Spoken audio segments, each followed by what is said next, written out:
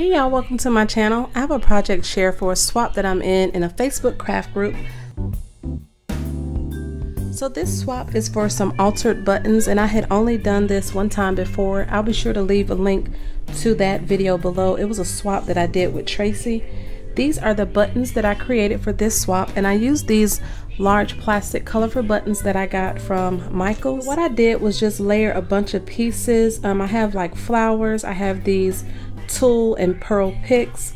I have some crocheted little flowers and these are some little metal charms.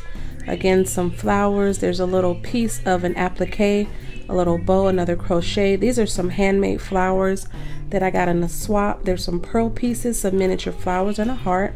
There's a um, butterfly button on this one.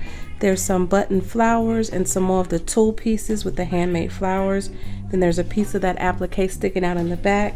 And then on this one, there's some metal keys that I had painted with some pink paint.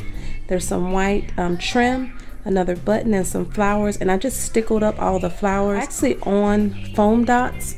And I just glued the dots to the back of the paper so when they pull them off, they, they're just ready to use. If you have any questions, please leave them below and I'll get back to you as soon as I can. Thank you all so much for watching and have a great day. Bye.